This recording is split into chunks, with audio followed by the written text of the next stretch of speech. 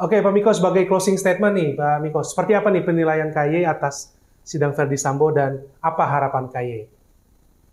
Kita masih melakukan pemantauan, jadi kita belum bisa memberikan kesimpulan ya terhadap kepatuhan hakim dalam uh, melaksanakan sidang dilihat dari kacamata kode etik dan perilaku hakim.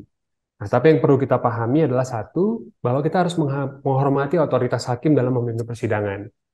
Terutama menghormati kemandiriannya dalam memimpin persidangan. Karena kemandirian itulah yang kemudian menjadi alas untuk hakim memutuskan suatu perkara itu berdasarkan fakta, hukum, dan keadilan. Itu yang pertama.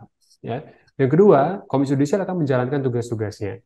Ya, pertama dalam menjalankan pengawasan terhadap hakim, yang kedua dalam mencegah ya hakim untuk tidak direndahkan kehormatannya. Nah, ini dua area yang kemudian saya kira Komisi Yudisial sangat berpengalaman dalam menyeimbangkan keduanya gitu. Nah, yang ketiga, ini juga bagi masyarakat ya dan uh, kita semua gitu ya, bahwa kan persidangan ini ini persidangan yang memutus ya, memeriksa dan memutus suatu perkara apa dugaan pembunuhan.